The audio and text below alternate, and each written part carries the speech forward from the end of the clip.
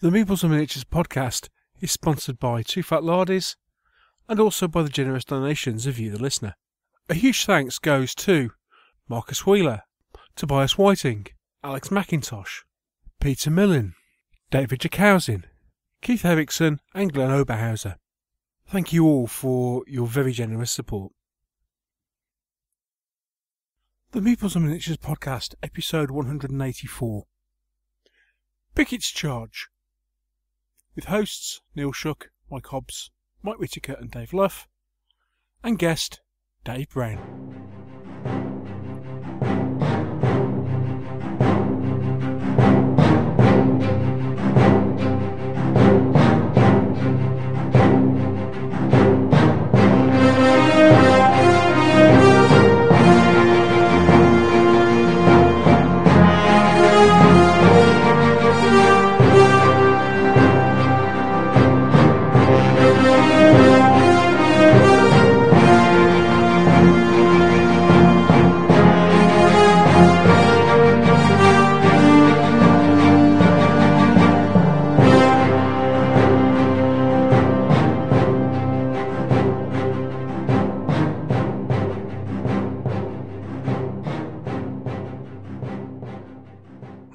Welcome to another episode of the Meeples and Miniatures podcast. I'm your host Neil Shuck. Now, here's the thing. I must admit, I have always been a little bit paranoid about show length, which, considering the sort of stuff we've been producing over the last 12 months, may make some of you, yeah, kind of go, really? now, I know earlier this year we put together a complete new show format with new sections for what we've been up to and for hobby news and the mailbag and what have you, as well as our usual interviews and reviews. And that's gone down very positively. You know, we've had a lot of positive feedback from that from yourselves. But the problem is this. Obviously, with chatting about hobby news and chatting about what we've been up to, we get into discussions uh, about various different bits and pieces, and also obviously as also as we do mailbags. And also, obviously, when we interview people, we like to chat. It's not one of those things where we turn around to our guests and say, "Right, you've got an hour." We tend to carry on the conversation until it comes to its natural completion, which sometimes can take three quarters of an hour, sometimes can take an hour, and sometimes can take some time more than that. So we're not really known for kind of keeping to a rigid show schedule. Um, and anyone who listens to the show on a regular basis will realise that. Now that has its positives in the fact of it, you know, it gives us space to actually, uh, you know, converse as opposed to constantly watching the clock.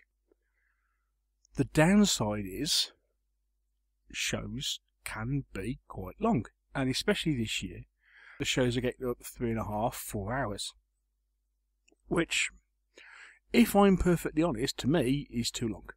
Okay, I know several people turn around and say, "Yeah, great. You know, the longer the show, the better. Brilliant." For me, that's too long. Whilst I've been producing the shows, in in my heart of hearts, I've been I've been worried about how long they're getting. Okay. Now, at the same time, I don't want to change what we're doing because actually, I think what we're doing is actually pretty good. You know, I think we get, I think we provide good conversations with our guests, uh, which are you know, interesting, and also between the hosts we have on the show, uh, we have uh, a good repartee, uh, a good range of views, and I think we get a good discussion out of it, which the feedback is people find interesting. So, whilst all the bits are good, when you put them all together, what's the old phrase? You can't fit a you can't fit a quart in a pint pot. And so, rather than producing the quart, what I want to try and do actually is to kind of cut things down a bit. Now, this has kind of come to a head in this latest set of shows. I mean, as you know, we, we produced a show 183, which is uh, a show about mythic battles. That was originally meant to be uh, a short interview in the new segment of this show. Okay, and as you saw it kind of you know went on a bit longer than what we anticipated. When I then came to edit what was going to be the next show, there was just simply too much stuff. It, there was just simply too much of it to fit into a single show. But at the end of the day, what we'd recorded I thought was actually quite good and useful. So I didn't want to end up with the fact that half of it lay on the cutting room floor. The only other way of doing it, without you listening to a five hour show, which despite the fact that I know some people you know wouldn't complain about it, for some you know other people that's a, that's a real deal breaker. I'm not going to go there, so I thought, tell you what, what we'll do, we'll release shorter shows, and we'll release them more frequently. So, uh, to be honest, at the moment we've got material for three shows in what I'm editing at the moment for what would have been show 184. So that's what I've done. Okay. The result is this episode 184 is the first of a couple of interviews we've got coming up for you in the, in the near future. This is an interview with Dave Brown, all about his new set of rules, Pickett's Charge, which have recently been released under the Reisswitz Press label. We'll take a quick break, and when you come back, you'll listen to an interview. The interviewers are myself, Mike Hobbs, Mike Whitaker, and Dave Luff, and we're chatting to Dave Brown all about Pickett's Charge.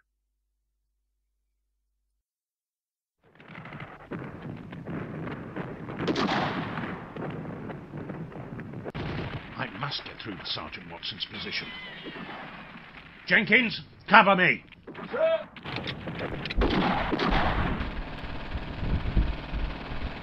Whoa. Sergeant Watson, bring your men in. Withdraw. Oh, it's all right, sir. We're enjoying ourselves. What? Yes, sir. It's these here chain of command rules, sir. We're having great fun. Chain of command? That's right, sir. It's a challenging but fun blend of command and control. It gives me the freedom I want to fight the way I want to. Never had so much fun, sir. And we've cooked you some sausages. Can't be helped, sir. Me and the lads are staying put.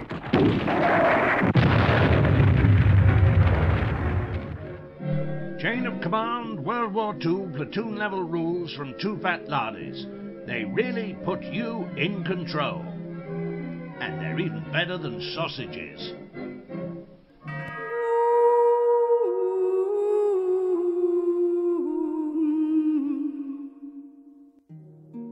Have you ever wondered what's going on in wargaming? We do too. So come with us as we go behind the hobby with the Meeples and Miniatures interview.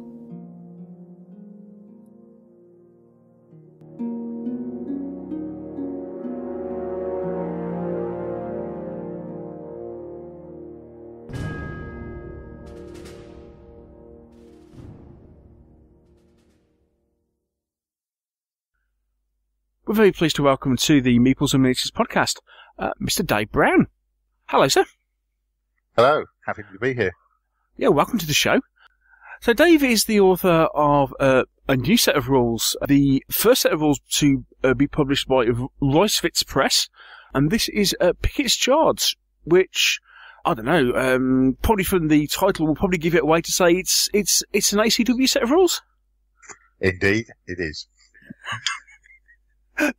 really funny. Going, no, it's steampunk mass battle. Got you. yes. Fantastic stuff. Right. Okay. So, um, obviously, it's Dave's first time on the show. So, uh, as is our tradition, the first thing we would, we would like to do, Dave, is find out a little bit about you and uh, and how you got into wargaming and the hobby in general. So, can you just give us a bit of your background? Yeah, I think it probably started uh, like many people did with uh, Airfix. Hey, yes. okay, so, okay, for all those playing bingo, that's Airfix. uh, probably started off. I think my uh, my father came along one day, didn't he, with a, a box of. I'm pretty sure it was U.S. infantry or U.S. Marines, one thirty second scale, uh, oh. plastic Airfix. That was uh, uh, my first one, and uh, unbeknown to me, the lads, there were, there's a farm just uh, down the road that had three lads that were there. and they actually played what they introduced me to proper wargaming.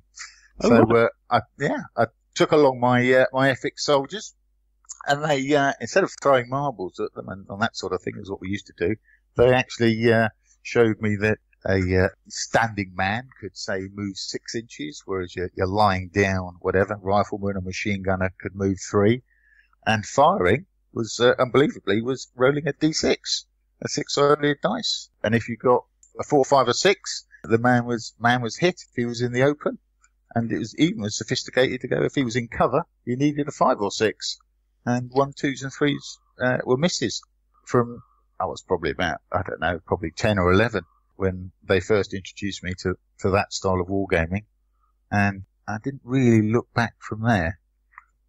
I moved on, uh, probably like everyone else did, collected all the 170, what did I think, what were they, 172nd, 176 Airfix, all the yellow Napoleonic ones. Oh, right, yeah. Yeah, one, Yeah. yeah. 170, 176, wasn't it? which which wouldn't take paint in a month of sun. Oh, yeah, absolutely. Tried. This, Uh, this is where going back to the infamous banana oil, isn't it? oh yeah, uh, I've never, I've never ever managed to buy any banana oil. And living in a, uh, a little village near Taunton in Somerset, you had no hope of getting that stuff. I was Right, always well- told I was told the trick was actually dunk it in PVA. Oh, there you go. No, I didn't do that. I just, I think I cleaned them. I think I read somewhere in one of the early magazines, if you give them a quick clean and then, and then painted them, but I still find, you know, after a few months, uh, great chips of paint came off their arms or, or their shakos or whatever. Great chips of paint that sort of looked like the, the, the, the outer shell of a figure. In fact, Yes, they used to come out shaped.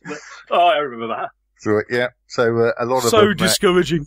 Yes, it was. so a lot of them ended up with a very heavy coat of varnish. I think I even used my dad's wood varnish at some stage to make sure all that paint stayed on. But uh, yeah, they I, they were uh, used along with I think the pretty well known uh, Bruce Quarrie's Airfix rules. oh, right, yeah. Ooh, Yeah, used um, they they were quite controversial at the time, weren't they? yeah, I mean, they were how shall I say they, they were interesting uh, and developed your math skills, especially Oh, dividing God, by they? five. So uh, they provided a lot of entertainment with a few close associates at school. Uh, before moving on to uh, to venture into other periods, I think we picked up um, Operation Warboard. Oh, Operation Warboard, what a fantastic set of rules they were. Yes, Yeah, that's how I got into it, yeah. It was, yeah, they they were, and I think they still are actually a very good set of rules. We're always quite taken with, I think, the uh, machine gun grid that you had to make out of some kind of laminate. Um, Oh, yeah. Yeah, yeah, yeah that was, yeah, I, I I always remember having that going, Dad, can you get, I need yeah, a piece of, yeah, laminate or a piece of perspex like this. Yeah, What the heck it. do you do that for, quote unquote? we uh, we we, we couldn't uh, couldn't get hold of any for that, and the only the only place we had them was at our school where the teachers would use would write kind of notes on this overhead projector on laminate. So uh, we had to do a little bit of a, a raid into the uh, into the school wants to acquire, shall I say, some of this laminate for our uh, machine gun grids. so, uh, and then moving on, got my again. My father took me down to uh, Taunton uh, one night and introduced me to the uh, Taunton War Games Club, uh, where they were uh, busy engaged in WRG fifth edition Ancients, uh, 15 mil. Got got involved in that before uh, moving on to run down the other you know, numerous kind of other rules, such as uh, in the Grand Manner, Napoleon's battles, a bit of squad leader, and dare I say it, even a bit of D and D that sneaked in at the end. oh, you- you- no, What's I, with D&D? no, I was, I was, I was Ah. going to say, I think, I think most of us have been there in that time. Kept me in gaming for a decade or two. That's right. Yeah, exactly. I think when I was at uh, the good old Bristol Poly, we uh, we invented our own uh, war games society, of which D and D had a very prominent part, uh, along with other board games, uh, etc. So we carried that on, carried that on forward. Took a bit of a hiatus, I think, like many people do, isn't it? When you when you leave college, get your first job, etc. And then uh, decided that carried on, moved down to to London, picked up with a, a new club down in Loughton, which had a good couple of characters, and that's uh, where I initially uh, kicked off with a very, very initial development of General Brigade Napoleonic rules, which I was quite fortunate enough uh, for them to, to be published, and some people, uh, I believe, even play them. So it was all quite, You're far too modest, mate. and that, uh, yeah, that, and I think the rest of you know, isn't it? A little bit of a dabble into uh, World War Two, with Battle Group Panzer Grenadier, and uh, and also the ACW variant of with Guns at Gettysburg, which kind of um, pretty much takes us up to date. So, considering you've already written one set of ACW rules, Mhm. and here we are looking at Pickett's Charge, which is another set, uh, why revisit ACW? Is that a period that um, holds a particular? Is that one of your particular go-to periods? Yeah, I mean, I think my uh, my top two are Na- Napoleonic and the AC, ACW.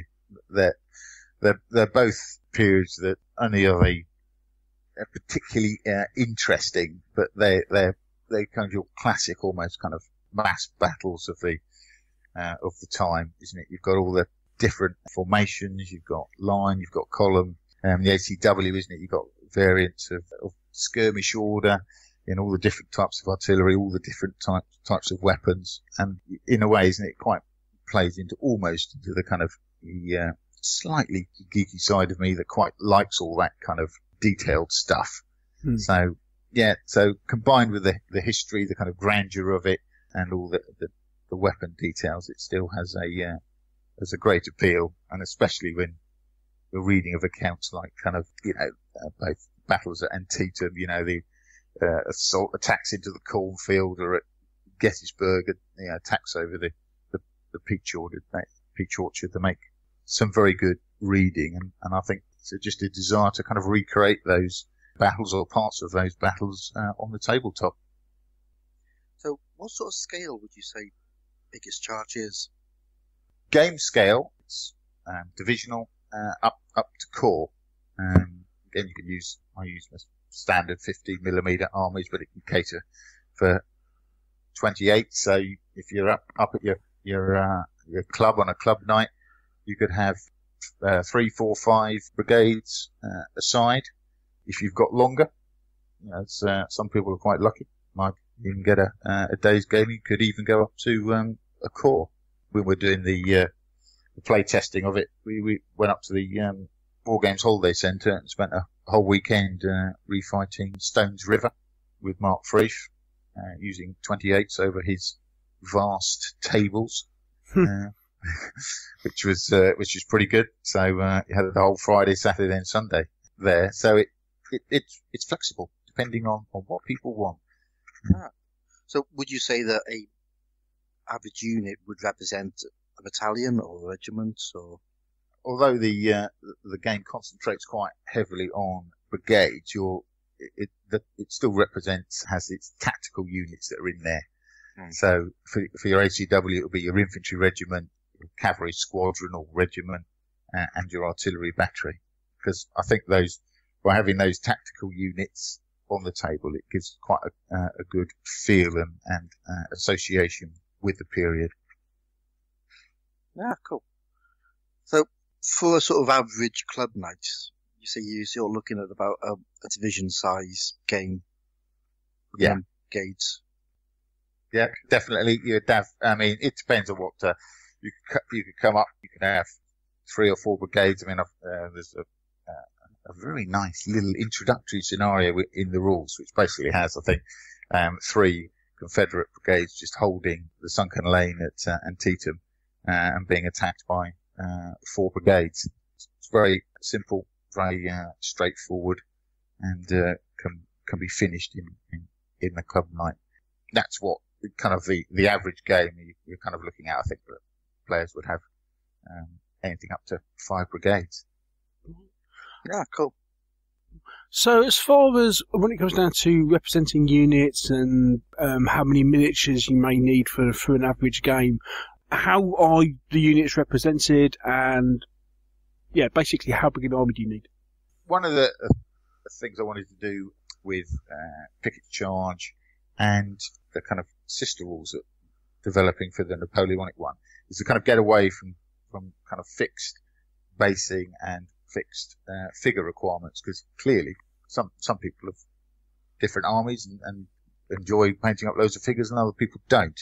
So we thought, right, okay, what we'll do, I'll do is just develop your tactical unit based on bases. No pun, pun meant there.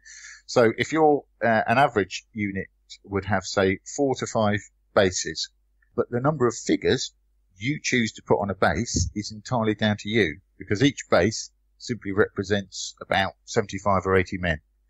So if you wanted to say go down a 1 to 20 scale, uh, which is what I use, you could have four figures on a base and have five bases as your standard regiment.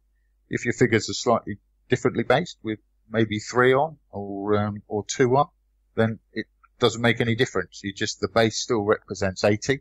You just, you just use them, use them as they are. So actually Or- the number of figures, yeah, Or I guess absolutely. you could go completely mad and do a Sidney Roundwood and put 80, 20, two full figures on the base. Yeah, yeah, you, yeah. If you're at the other end and you're, you're really into um, lots lots of figures, you could go right there, have eight, ten, uh, or more. It's it, it's the it's the same. So uh, you could uh, get away with only uh, a couple of hundred figures uh, to represent your um, divisional action, or you could go up to four, five hundred or, or more figures. But it, the idea was that the game could cater pretty much for anyone's collection. As long as your collections are similarly based, then you, there'll be no, none of that hideous idea about rebasing anything, tearing up your beautifully um, based figures and all the Tetrion and, and grass coming off with them.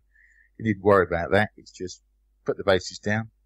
Four or five, four bases represents a small unit. Five bases is an average unit, and a large uh, unit is about seven. That's it. You're done. Cool. We like things that are nice and simple.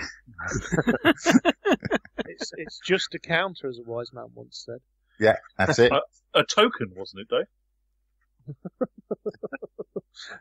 a, token, a counter. The token with just the mu- with the man on it. Just trying to work out how I can play it with six mil bases. Well, well, you just need four or five bases per, per unit. Yeah, yeah. Come on, yeah. They keep up. Yeah. Sorry. or if some some people have even come up with a clever idea of if they've got quite large bases, it's just it's calling one of their large bases two or, or three or whatever. Yeah, it, it doesn't really matter. It's quite it's fairly Sure, flexible on that. On that Measure, measuring base widths and be done with it. Yeah, that's it. Yeah. So, in the um, time-honoured tradition of always wanting more as a wargamer, um, you've already just talked about the Napoleonic version. So, In, indeed, it's what um, it's uh, kind of sister uh, set of rules uh, to Pickett's Charge, which have at the moment are going by the name of uh, General d'Armée, and they adopt the similar kind of command uh, mechanisms, etc., but um, obviously follow quite an, a Napoleonic route, which is Hmm. slightly more awkward than uh, ACW to design. Um, and I've gone down the line uh, with that set of rules where there's no um, basing requirements at all. There are just simply units are either small, standard, or large, and how you field them is down is down to the player. Good grief, man! There'll be chaos. I tell you what, I'm in. I'm in. Where do I sign? just, just sign here. I mean, to me, it's, it seemed, you know, it seems obvious, isn't it? If you've got a, if you've got two people with whatever based armies, it, it's an irrelevance, isn't it? You just, as long as you, you can identify which ones are small, which ones are standard, and which ones are large, off you go. Uh, We've had this conversation, haven't we, Neil? Uh, yes, I think we have over the over the years. My army's the same. Your army's the same. Where's the problem? oh, I think some people would probably find it there if they wanted to go on about ranges and base depths, etc. Well, when it comes to six, well, when it comes to Napoleonics, I've got a thing about sixty by sixty-six mil uh, bases, so that might be worth looking at. Oh, there you go. Yeah. Uh, um, before we start jumping into the rules, you know, at quite a low level, one of the things with any of the Lardy's rules is is the command and control mechanisms. Yeah. You've seen. As, as you're coming in and producing a set of rules for um, for Reisswitz, which obviously is a Lardy's subsidiary. Yeah. Does yours sort of follow that um, idea of bringing command and control, command and control to the fore. I've attempted to say, nah, sod it, not doing any of that Lardy's rubbish, but, um, but It sort of Uh, seeps in, doesn't it? no, it did. Uh, One of the um, the main phase within each turn uh, is com- command and control. I wanted to kind of move the the game away from kind of unit based kind of initiatives where people concentrate on moving their their units and winning the game with their just their units through to winning the game through command and control and getting lucky with your units or doing well with your units. So what I de- developed for the con- command and control one was a, a system of we use uh, staff officers uh, effectively, which is a nice or slightly historical name for what is in essence uh, a command pip. But a command pip can give kind of like the wrong impression. I think um, command pips often associated with just being able to move your your units or your brigades, whereas here staff officers actually carry out tasks. So you will, as the commander, commander in chief, will allocate your staff officers, of which you'll have a varying or limited number to carry out specific tasks. So you could, for instance, task one of your staff officers to be on a brigade attachment to uh, a brigade, which would give it a command re-roll should its initial command uh, activation roll not succeed. Or you could send more staff officers down to make sure that the brigade gets moving and gets moving quickly, um, or move it out of reserve, or bring it on a different position in the battlefield, or bring it on from a flank. So the staff officer thing was just designed to give players command choices each each turn. Do you think I've got a limited asset, I've got a limited number of these staff officers. What tasks I'm going to give them to? What are they going to do? Where should I concentrate my command effort this turn? And there's no guarantee how many staff officers you get. Sometimes you might get lucky, might get four, five, six, depending on the size of the game. You could get unlucky. You could only get one or two. Uh, and then you might, your command choices are almost made for you. So it was the, the idea of, um, how shall I say, uh, friction is, is put into that, into that command, uh, process. So that's what uh, a lot of the time the players are concentrating on. It's using these staff officers to carry out their command effort. Uh, and that's all put together as part of the scenario. Yeah, well, it's very, it's pretty simple. It's the, uh, at the start of the game, isn't it? You basically receive one staff officer for every brigade that you field. So if you had uh, your typical club night one, you might get, let's say, you get five staff officers, and then you roll each turn to see how many are actually available to you.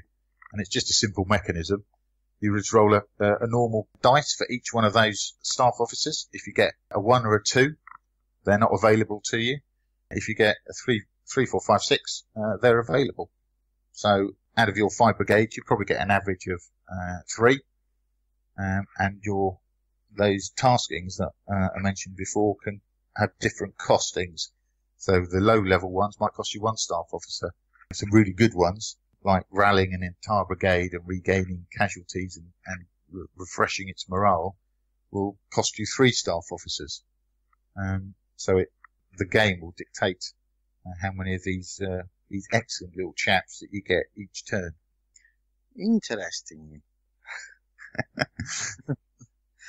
I must admit, I, I was slightly distracted because did anybody else, as they was describing that command and control me- uh, mechanic, have they were only playing leapfrog going through this the back of their mind, or was it just me? No, Neil, it was just you. Definitely. Okay. just me. Okay. What What's you the phrase? been eating? oh, what a lovely war! No. No, oh, yeah, whatever. You're on your Uh, own you- again, sure. Yeah. What's the phrase? Edit point. Tumbleweed. yeah. No, leave it in. I was I was just thinking about you playing this game, Neil, and just like with limited amounts of these officers, you'd be like going, "Oh, I want to do this, I want to do that, but I've only got this." What? You, w- w- what you mean? I'll be playing the entire game with one staff officer available? If go, I'm lucky. "Oh, yeah, but I want to do that as well. Oh, what shall I do? That's yes, that's exactly it, and that's normally what I'm like. Okay, so we, we've we've spoken around the usual, you know, how many to put together, how the, the armies are created. We've got this great little concept of staff officers who can change things, usually for the worst, halfway through a battle.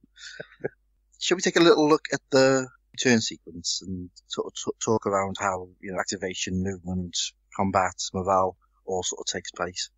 It's uh, basically only four phases in each game turn. Uh, the command, command and initiative is the one that we've already touched on. Uh, in addition, once you've posted out all your fantastic staff officers uh, to all their various tasks, they're then put in position with their taskings kind of next to them on a on a marker, which uh, which of course are all rather conveniently provided in the rules. And then each player will just simply roll uh, an activation roll in essence for their brigades. Again, it's dead simple. A one or a two, your brigade uh, isn't active and it's classed as hesitant. It just hesitant simply means that its firing's restricted. You're only firing at effective range. You can't do any kind of speculatory long range fire and you can't move towards the enemy, which kind of prohibits you from uh, advancing. Uh, and if you get a three, four, five, six, your brigade is obeying orders. It's doing as you want and off it goes. And it's then at that point that the staff officer taskings will also come into effect. So, for instance, I mentioned the brigade detachment one. So, if you rolled a one or a two for your initial brigade activation, the staff officer will give you a re-roll. So, you'll get another go. So, basically, it's your command effort going in to make sure that that brigade gets going. Uh, and then those brigades are activated and off you go. And then that immediately leads uh, onto the second part of the command phase, which is the initiative, which I think we all know, isn't it? It's just basically who's going first in the various phases. Both players just simply roll off it, so just a competing 2d6 dice roll. Uh, and the only modifier is how many hesitant or worse, because there is actually a slightly worse um, thing, brigades uh, you have in your division or your corps. So the, the worse your division performs, the less likely you are to gain the initiative, which again harks back to what are you doing with the staff officers? It gives you a different choice. If I want to win the initiative, I need to keep, make sure my staff officers keep my brigades uh, active and going, and maybe I won't be able to invest quite so heavily in any of the, the sexy taskings that, that I want to do.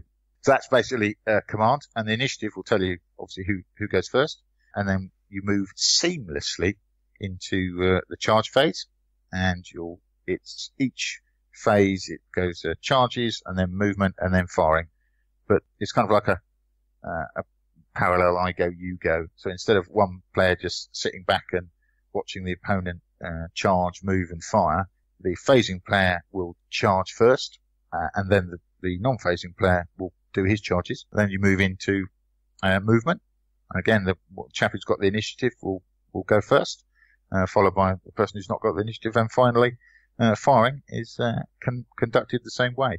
Boy, that sounds familiar. yes. By a strange coincidence, in fact, by now folks will have heard the episode on Sword Point, and we were, I think, commenting on how well that system seemed to work.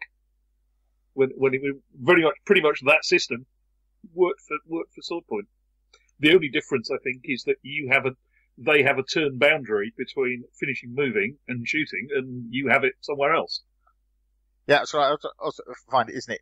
It keeps everyone involved in the game and um, on their toes. Yeah, Yeah, absolutely. Yeah, get all your charges done. Um, the advantage, of course, of moving first is that the uh, opponent can, needs to react to your moves, but then the disadvantage, of course, that you might get caught out by his move.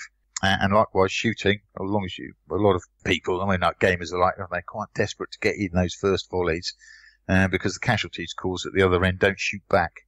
So yeah, it keeps, it all keeps the players continuously engaged throughout the turn. Right, so so I, I take it from the, from that last comment then that shooting in this game is not simultaneous. No, if you've got the initiative, you shoot first. So you'll uh, you'll do all your firing first, followed by the non-phasing player, which again sort of harps back to the command aspect of it. If you want to get the volleys in first, you want to make sure that your staff officers are doing the, the job that you want them to do, and making sure their brigades are obeying orders, so that you hopefully will get the initiative. And the one thing the game turn doesn't have, that I consciously uh, eliminated, was a morale phase or a rally phase. If there are any morale checks are just indicated. Uh, so if you have a particularly devastating volley, there'll be a morale requirement there and then, and that's just a very simple uh, morale check. Roll two d6, and if you score a certain number, then then you've passed. There's very few modifiers, and all the rallies. So, all if you have broken units or routed units and those those traditional states, you don't rally. There's no morale phase to do it. It's all done in the command phase, which again is another job for your staff officers.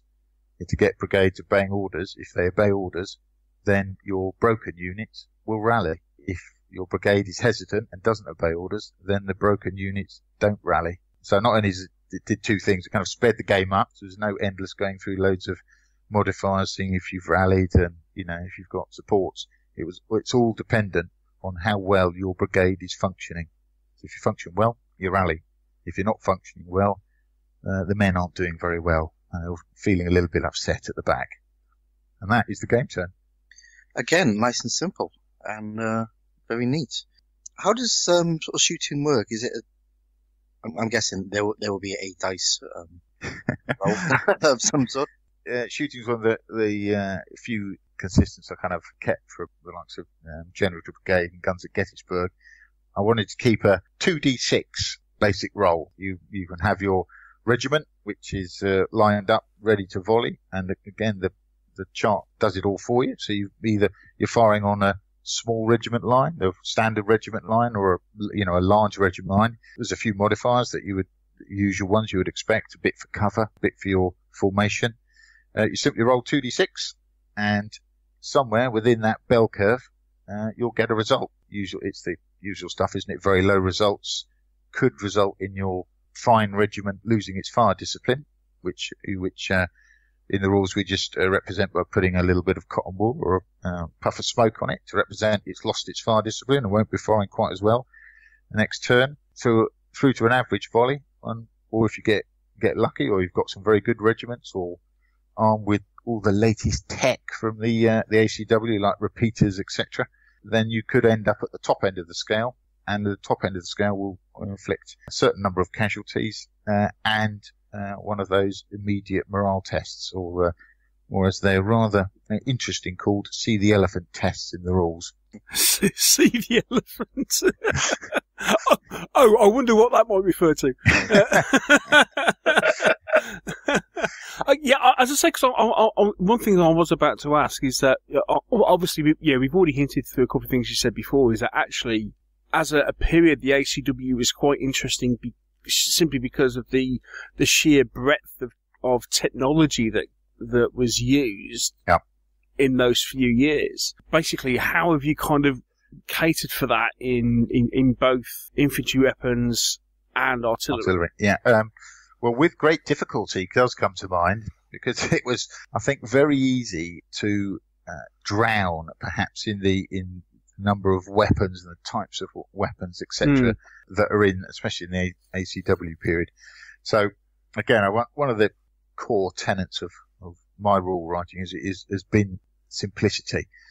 So I thought, well, we need to, you need to represent these uh, weapons, but you need to keep it fairly simple. So uh, I just went down the line of if you have, let's say, for for instance, a, a flintlock musket, that's simply classed as an inferior weapon, and an inferior weapon will always fire on the uh, the lowest uh, volley line.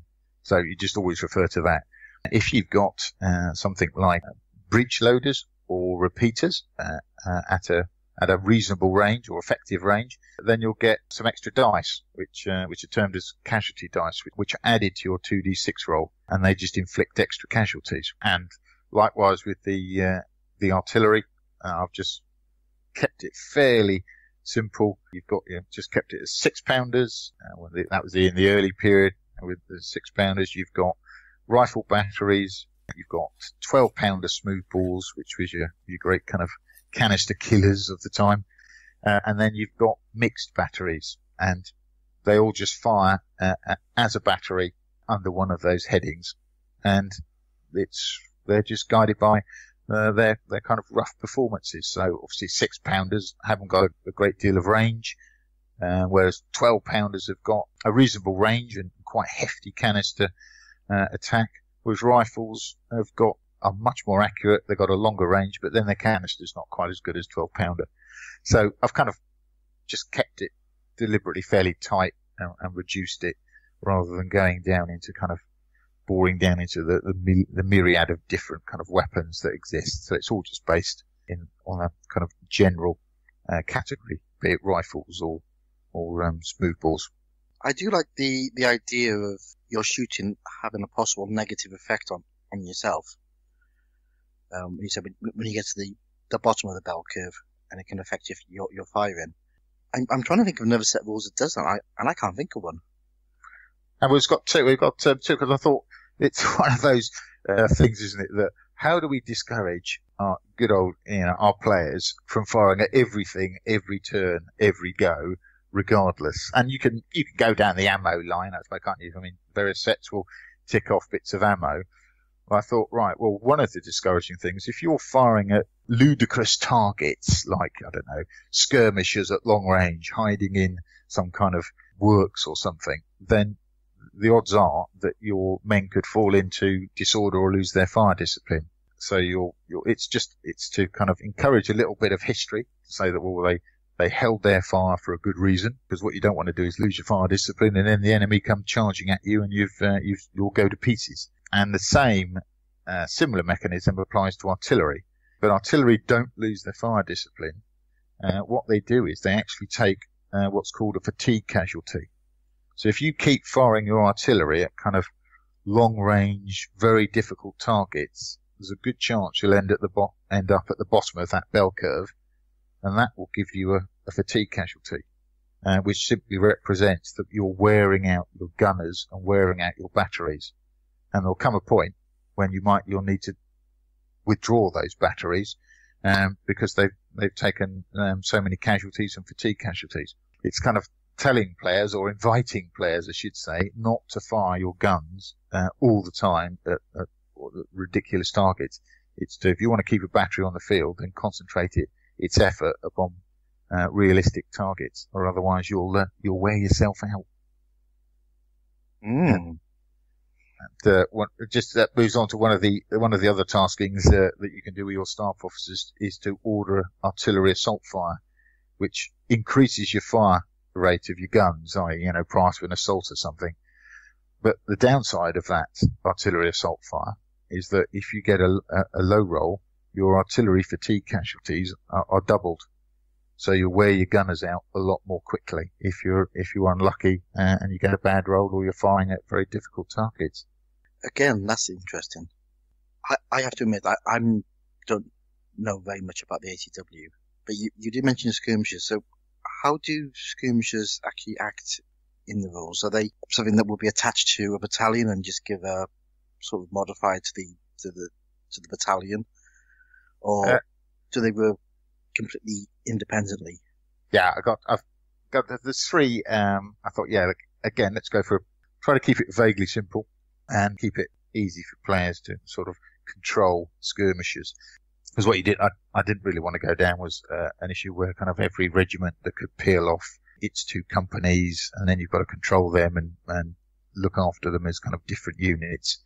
So we just simply went down the line of you can have the very top end of the scale, I suppose, that each uh, division is allowed to field one sniper who's, um, you know, your, your super crack shot, fancy rifle with uh, telescopic sights, who's uh, who can be fielded on his own, and he's got some uh, uh, very you know bespoke rules that go with him.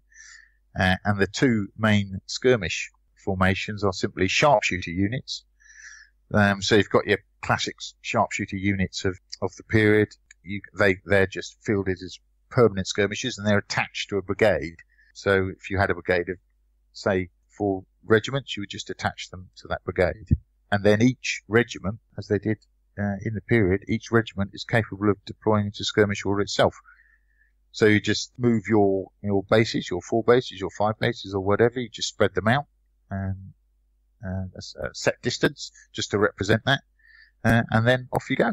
And skirmishing brings with it some advantages, like clearly you're somewhat harder to hit, but it also brings uh, with it its disadvantages. Your firepower is um, is is markedly reduced and you're far less likely to stand if the enemy charge you. So you'll probably find yourself running away. And we also introduced a, a rule where to kind of stop players putting everything into skirmish, which we've, uh, I've, when I've played ACW games before, you often you would find the entire world appears to be in skirmish order. We decided well, if you want to reform your, your regiments back into, into close order formation, then they need to fall back behind another formed up regiment in order to do so.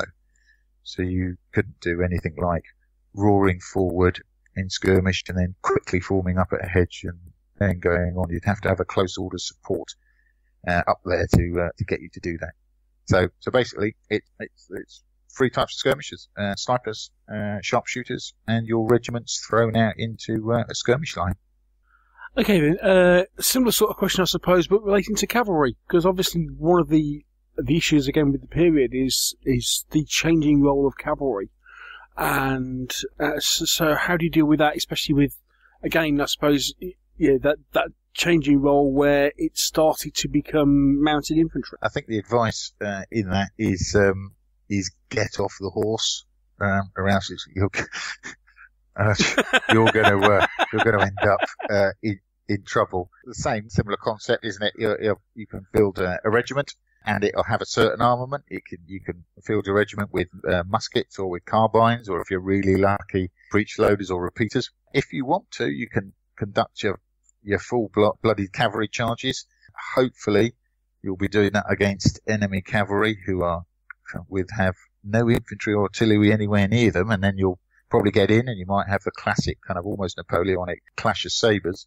Or if you're more sensible, you'll probably just dismount them.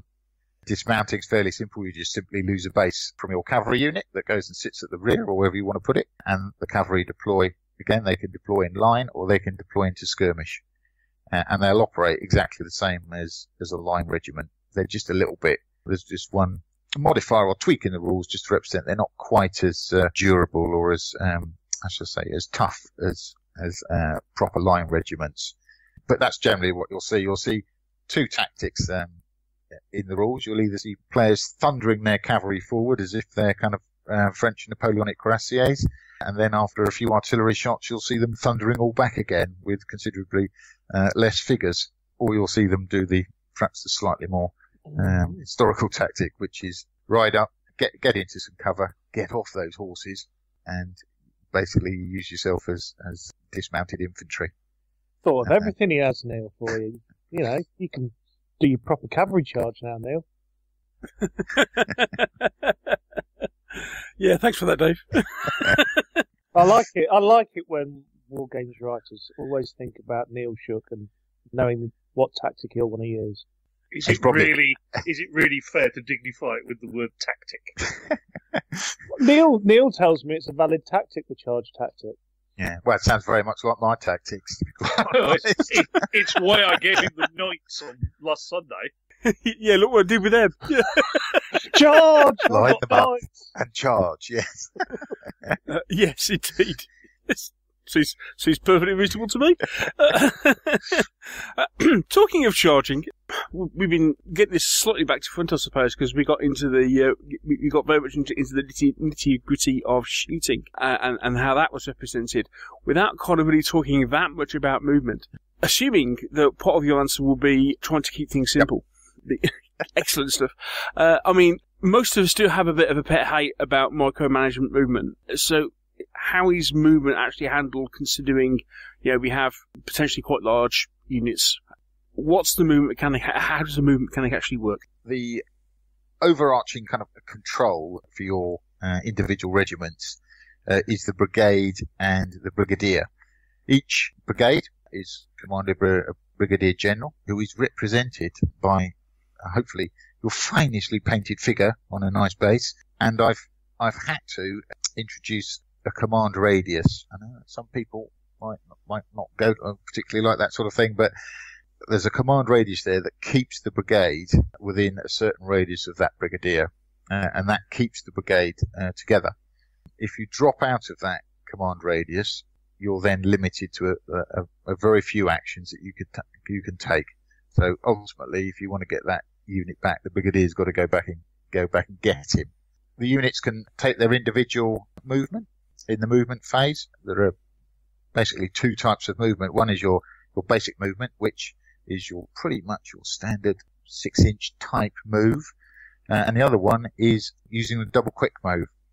So if you've, again, if you've pushed your staff officers down to your brigade and uh, ordered them to double quick, you get a standard move and you get a certain uh, amount of random additional move added on by the dice roll.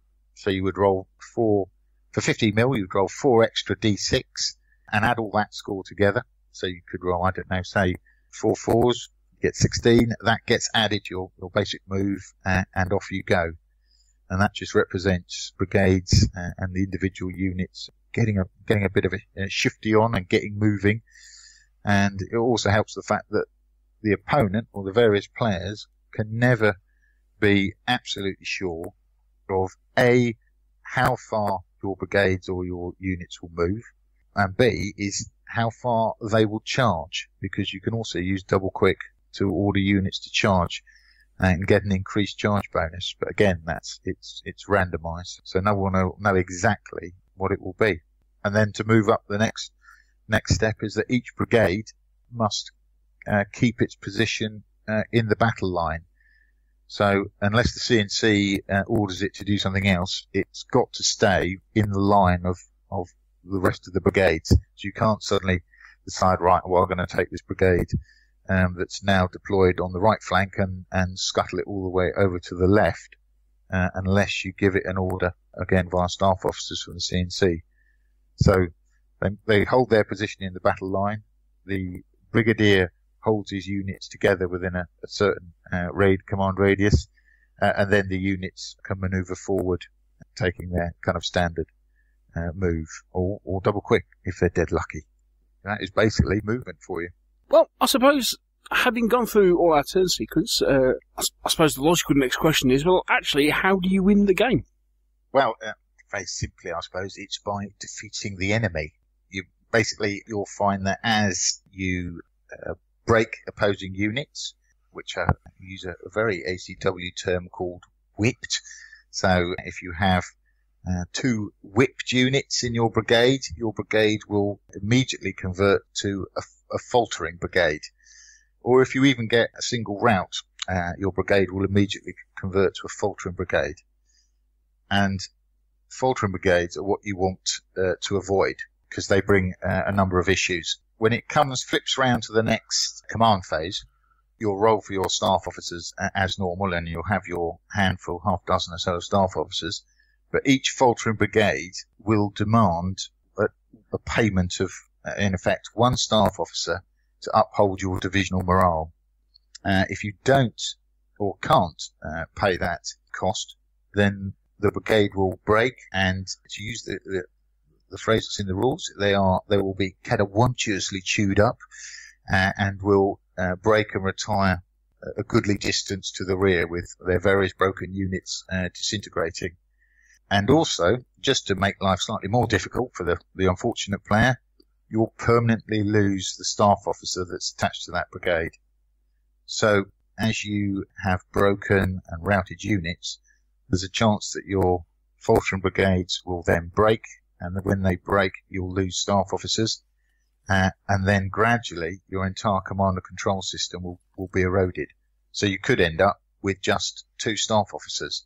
Therefore, it becomes extremely difficult, and then the conclusion of the game either it be a uh, scenario objective or just simply uh, playing to defeat the enemy or playing to break a certain number of brigades uh, that you could set up in the uh, beforehand. So you could say, right, we'll play until two, three, or four brigades are broken, and you'll play to that. But once you start losing uh, units and once you start having faltering brigades, it seriously uh, impacts on your game. You can get it back if you get lucky. If you get a reasonable amount of staff officers, you can recover your faltering brigades, and they'll they'll they'll carry on.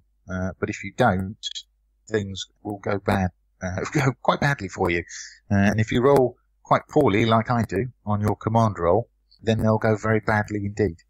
So it's basically using your units to inflict defeats and routs upon the enemy, and then hope that the uh, subsequently broken or faltering brigades uh, will break up as you go through the various game turns. Is there um, base removal in this game? How dare you mention that? Uh, no, there isn't. Good. Good. Good man. Yeah, There's no base removal. Uh, there is uh, what I call the uh, attritional casualty uh, system, where you do uh, mark off the casualties as they you you lose them, or in fact sometimes you can you can even get them back. And it's just a straightforward thing. Each the casualty is just the uh, kind of war games term, isn't it, to represent you know morale, fatigue, shock, whatever you like. And small units will have um, a set number of casual, uh, casualty level, which is probably about uh, normally about 10. Your standard units will be 12, and your larger units will be 14. And as you go through your the casualties, there are uh, four levels. So you can be fresh, up to three. You can take uh, one, two, three casualties. You're still classed as fresh. Once you get to four, you're on basically a little bit worn, so you'll get a minus one, and that minus one will be a consistent. So it's a minus one on your morale, it's a minus one on your firing, and it's a minus one on melee and other things. When you get to eight, you'll be on a minus two. Uh, again, it carries all the way through all the modifiers and tests. So uh, as your unit becomes attrited and is worn out, it becomes its ability to perform becomes less and less, uh, and its ability to run away becomes more and more. So it's much easier for the thing to break. And eventually, when you get to your um, your your limit, be it ten casualties or twelve casualties, you're basically used up and you'll disperse, and the entire unit is taken off as one. So there's no individual base removal uh, at all. Good. Okay, so in that case, then, w- what do you normally recommend for tracking those uh, casualty as you accrue them? There are two methods. In, the rules, we provide a really quite spiffing roster sheet if you want to use that. Uh, just to, so you just make a note of the unit and just mark them off as you go along. Or, uh, I, I use them, and what I think a lot of other people use in uh, different rule sets is, is a casualty marker that is just uh, with the unit. So that, that can, uh, I think a lot of uh, manufacturers these days, you can have little dice holders with your little mini dice that can just be at the back of the unit, and you just flip it over as as you get to the the various casualty levels. Or you can even have a little casualty on those. I think you can get some quite nice. As somebody um, rather unpleasantly called them dialer stiff. Um, you've got I've not heard that it's one. got those uh, they're those um, dial kind of casualty dials, aren't they, from the various Yes. manufacturers? And some people put a little casualty, you know, a painted casualty on it and and and tart up the base. So it looks quite nice. So it kind of fits in with all the scenery. Uh, and as as the as the casualties accrue, you you move your dial around to reflect reflect the current number. So it's it, one of those two methods, whichever, uh, or multiple methods, whichever people want feel most comfortable with. Okay, now I'm really interested about the um, Napoleonic rules, which we'll come back to in a bit. Because I'm, I'm- I'm not really into ACW, but I am into Napoleonics, and I've got an awful lot of 15 mil Napoleonics. Oh, oh, very good. Yes. and, I, and I'm just looking for a set of rules to play with them, and I've tried all sorts. so, Oh, there you go.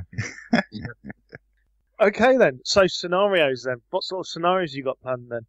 A number of books found of scenarios, some of which are already uh, underway. We're having one scenario book, probably based in the uh, the early period of the war down the Peninsula Campaign, as the the Union push towards Richmond.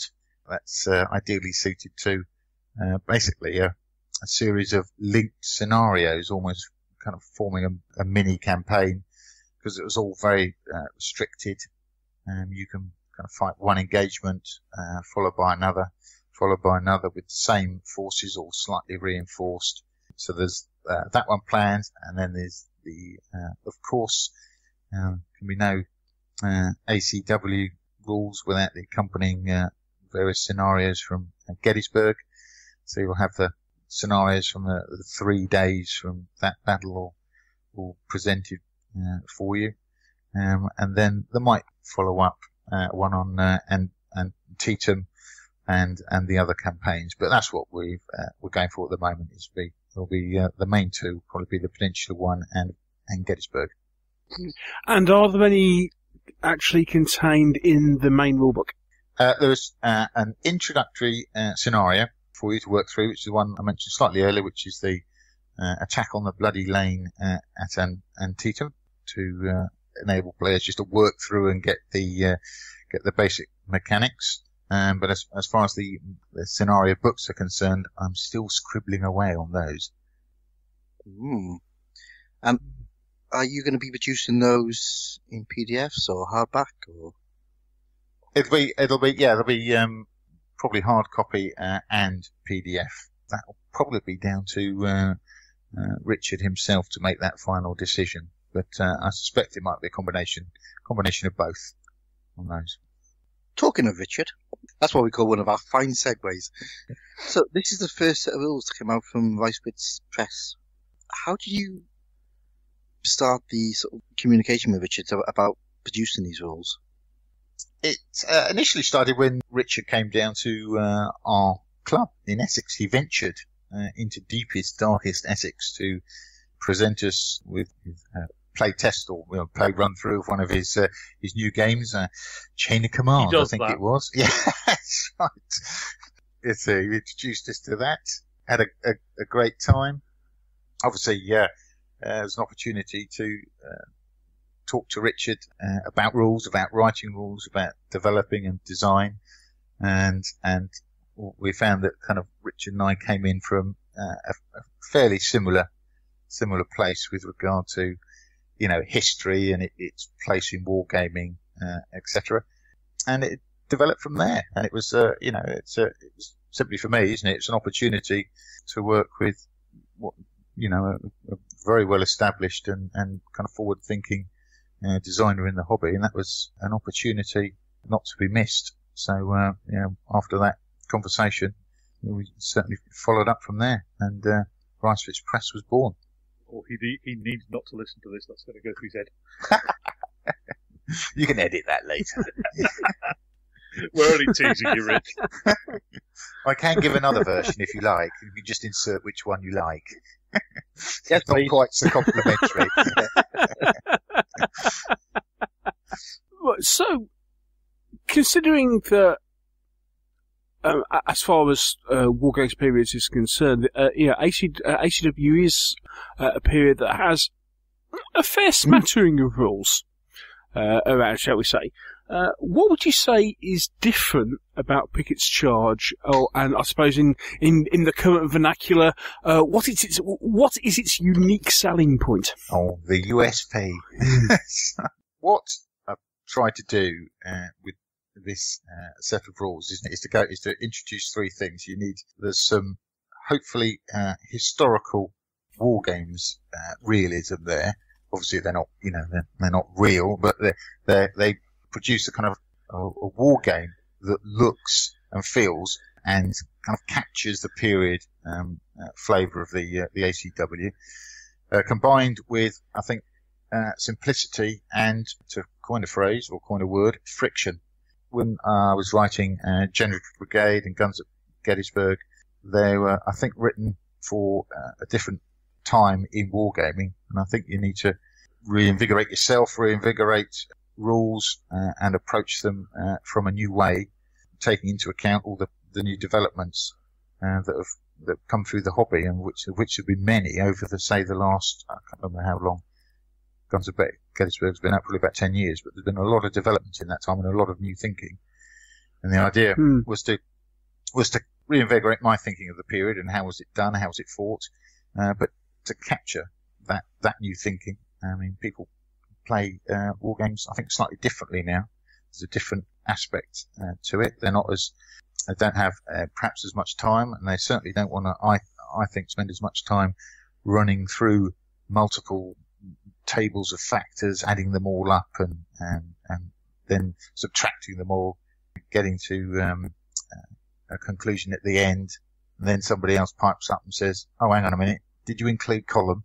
And so then we all have to stop and, and start again. It was just concentrating on, on rules that are uh, simple, ref- reflect the period, but are, are intuitive enough that players can get them straight away.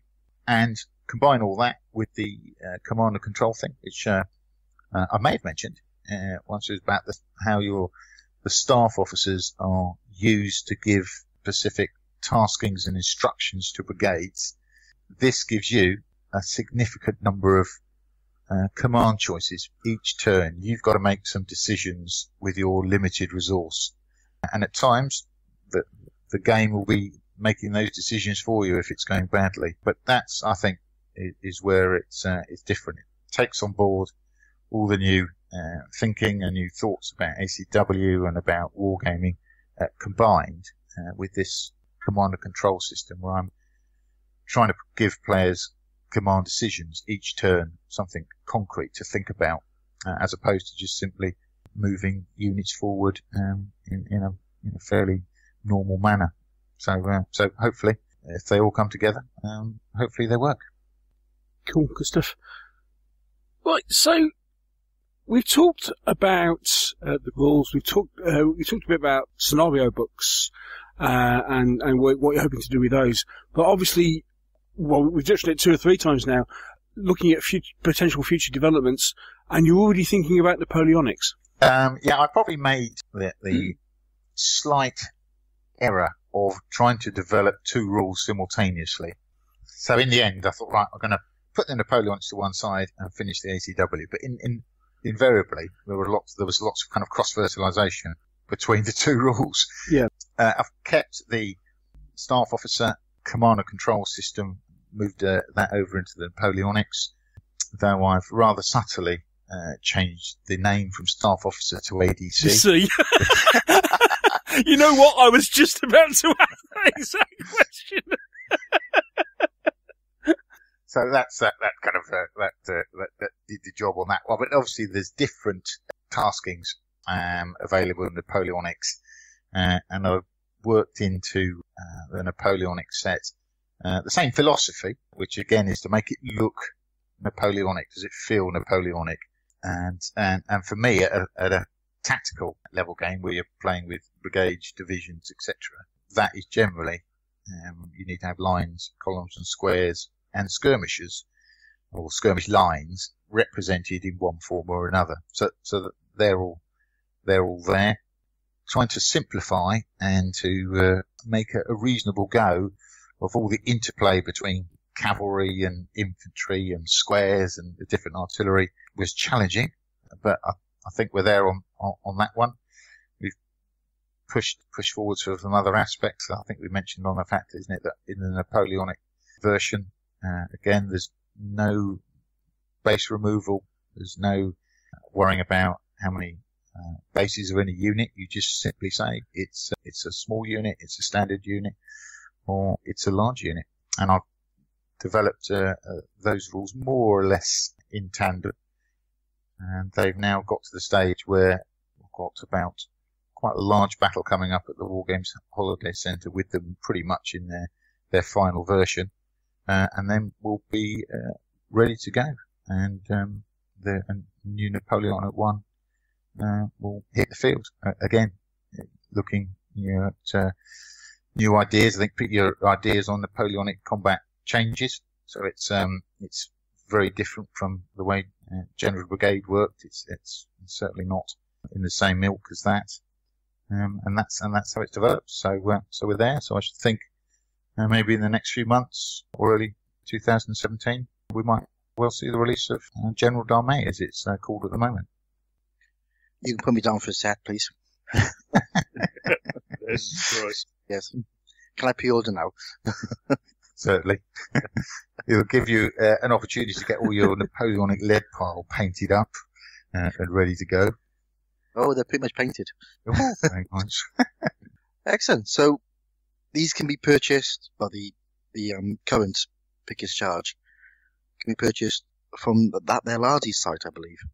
Two Fat Lardies yeah, on their uh, website. They're up, uh, ready to go, and they um, I think they're going for a very, very reasonable um, 24 English pounds.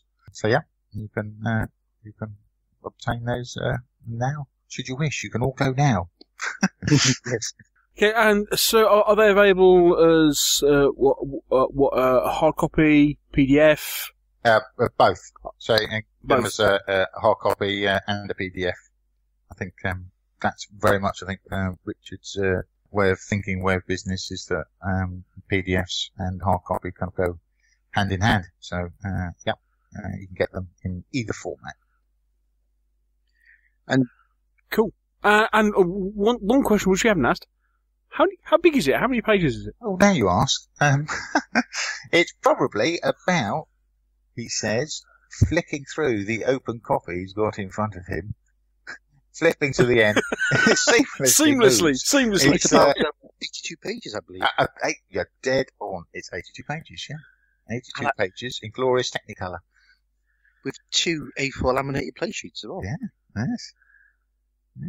So, uh, yeah, I always go for, um, I think play sheets are important. I tend to develop my rules from a four-sided play sheet. I find if I can get a set of rules done on a four-sided play sheet that, that vaguely works, and then, then I'm kind of close to home, and then I kind of build the rules up from the play sheet. So, uh, you'll always get a, uh, a four-sided play sheet uh, in the rule set.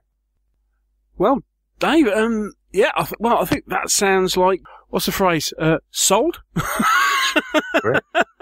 Yeah. Thank you very much. No, Yeah, sold. it's, uh, That'll be the first thing I've bought off the new Lardy site, which means I won't have to remember my password. Oh, marvellous, marvellous. Yeah. Give it a run. Yeah. It's quite interesting doing that. I've not done that sort of thing before, so it's uh, uh, something new. Something it's quite I interesting, mean, really. Stupid. I mean, stupid question. I mean, I mean, I mean, how have you? I mean, how have you found that pro? How, found that process where you know you're not the person develop. Yeah, yeah, although you're de- the person developing the rules, it's been very much a case of you know, you know layout. And, uh, yeah, because obviously, I mean, the layout for this was done by um, Henry Hyde, wasn't it? Yeah, Henry. Yeah. No. To be honest, it was, um, they were both, uh, ex- extremely, uh, both useful and, and helpful in the process. Ri- Rich was great, just pointing your bird, said, you know, this is, uh, vaguely, you know, what we want and how we want to produce it. He was very, um, happy to let me just, uh, kind of write the set of rules that, uh, I was writing. Obviously, he came over a couple of times, isn't it, to, to, um, to play the game. He, obviously on the first time round was probably wanted to make sure they weren't a complete pile of crap. Um, and I think I managed to persuade him that they weren't. So we've had a good couple of games. Uh, and then Henry, um, when he was doing all the formatting, I think, it was extremely helpful, sending me some very, uh, some informative, great emails about, you know, um, his wealth of experience in writing, about how to do things, how to improve stuff. So no, it was, um, they're, uh, both of them were a, a fantastic help. So they're really good, really good to work with. Brilliant, great stuff. Well, Dave, it's been a pleasure to chat. Thank you so much for coming on. Indeed, thank you very much. Yeah, it's, it sounds like we need to make another date for, for early 2017 for when n- n- the Napoleonic Wars. come Yeah, out. I shall, uh, I shall look forward to it. Thank you very much. I'll, I'll save some gaming funds to buy them. As will Hopsy, I think. Excellent. Yeah. All right. Fantastic stuff. Well, as I say, Dave, thank you so much. Uh, we wish you all the very best with Pickett's Charge, Thank you very much. and uh, we look forward to speaking to you soon. Cheers, Neil. Thank you very much, mate. Bye. One staff officer jumped right over another staff officer's back, and another staff officer jumped right over that other staff officer's back. A third staff officer jumped right over two other staff officers' backs, and a fourth staff officer jumped right over all the other staff officers' backs. One staff officer jumped right over another staff officer's back, and another staff officer jumped right over that other staff officer's back. A third staff officer jumped right over two other staff officers' backs, and a fourth staff officer jumped right over all the other staff officers' backs. They were only playing leapfrog. They were only playing leapfrog. They were only playing leapfrog. When one staff officer jumped right over another staff officer's back. They were only playing leapfrog. They were only playing. They were only playing. When one staff officer jumped right over another staff officer's back.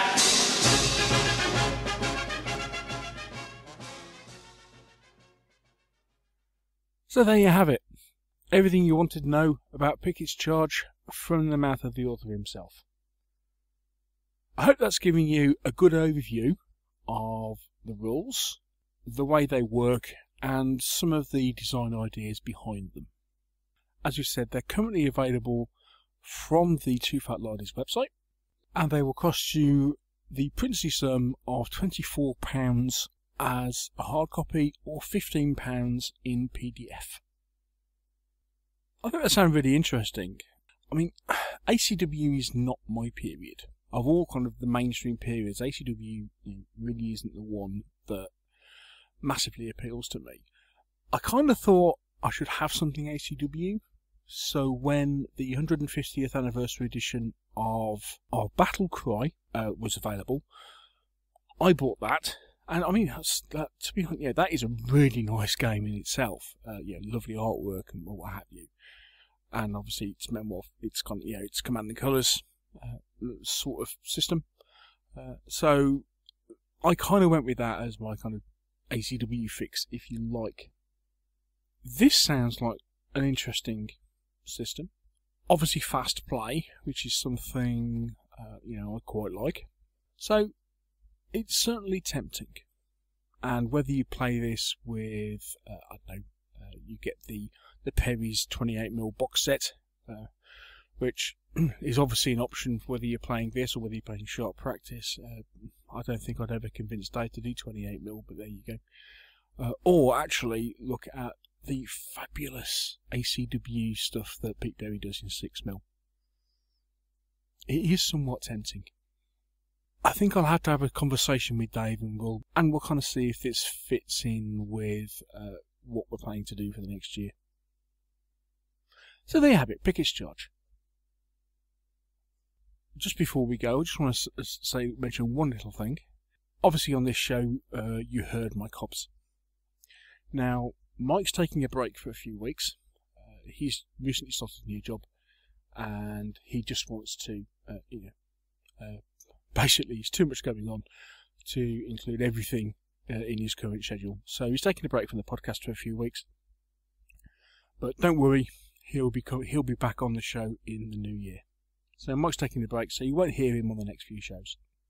Wishing well as he as he settles into his new job. In the next two or three shows, we'll be coming up with. I'll have another interview. We'll uh, be chatting with Richard Clarke uh, on about Reisswitz Press and Two Fat Lardies. So we'll be catching up with the other side of Reisswitz Press uh, as far as the publishing side is concerned. And of course, we'll also be chatting about what we've been up to hobby wise and chatting about hobby news. So that'll be coming up in the next couple of shows. And we've got several other things lined up for you uh, in the near future. And as I said at the start of the show, because we're going to be releasing these uh, as shorter shows, the the other thing is is that that means that uh, I'll be releasing them more often because I'll be releasing the shows as I finish editing segments, as opposed to waiting to put you know a dozen, half a dozen segments together and editing and editing them out and putting them together as one show. So you'll be getting a show probably at least once a week, maybe at times even and more often than that. Let me know what you think. Uh, always interested in your feedback. Let me know if this works for you. Okay? All that's left to be said is thank you once again for listening. We really appreciate it. Happy gaming. Take care of yourselves, and we'll speak to you very, very soon. Cheers.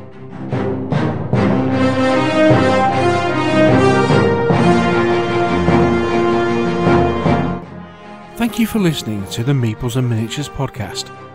If you've enjoyed the show, why not share it with others by leaving us a review on iTunes? And if you have any comments or questions, you can always email the show. The address is info at meeplesandminiatures.co.uk. And you can also visit our webpage, where you'll find a complete episode archive, all the View from the Veranda podcasts, rules reviews, and our blog of hobby items and news, which is updated several times a week.